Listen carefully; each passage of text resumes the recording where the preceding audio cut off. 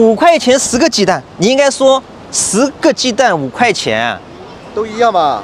你你这个在会做生意的眼里啊，它绝对不一样。我给你举个例子啊，你是老板是吧？你拿着，啊，比如说你有小孩吧，有你儿子说爸爸，我能不能在学习的时候看电视啊？不能。那肯定你要打他了，对吧？是的他换了一个套路，他说爸爸，我能不能在看电视的时候学习呢？啊，这样可以。这样可以是吧？啊，你有感觉了吗？有一点点是吧？嗯我再跟你讲，你去过寺庙吗？你碰到一个大师，你说大师，我能不能在念经的时候喝酒啊？那不行的。呃，他肯定说不要，是吧？是但你换一个台词，你说大师，我能不能在喝酒的时候念经呢？啊，这样可以。他肯定会同意，是吧？你知道这个叫什么模型吗？不知道。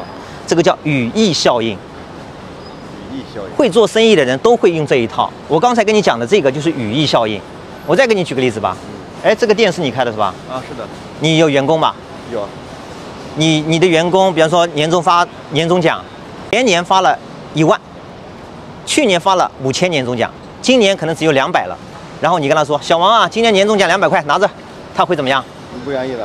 啊，我不干了是吧？卷不开就走了。是的。那你换个说话方式，你说：“小王啊，今年公司效益不好，要裁员。”他听了会怎么样？害怕。害怕什么？他被裁掉了，对吧是？的，是的。然后你要告诉他，哎呀，你放心，我们老板还是真的是良心老板，他抵押了两套房，贷款贷出来了，你今年还有两百块钱年终奖啊，那肯定不一样了。他就感觉会怎么样？不一样所以说你改变说话的方式等于改变商业模式。比如说你卖菜吧，你卖的那个青菜涨了百分之十，那个王大妈过来，你跟她说，哎呀，涨价百分之十了，她听了心里不舒服吧？你跟他前面再换换一下说话的方式，你说，这个青菜呢涨了百分之十，但是作为你是我的老顾客，我们也要感恩于你。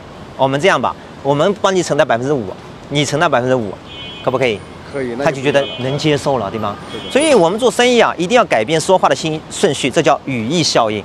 我这样你听懂吗？所以啊，你这个五块钱十个鸡蛋啊，还是十块钱五个鸡蛋，你选哪一个？你选不出来啊？选不出来。你选哪一个？十个鸡蛋五块钱。评论区可以告诉我你选哪一个，好吧？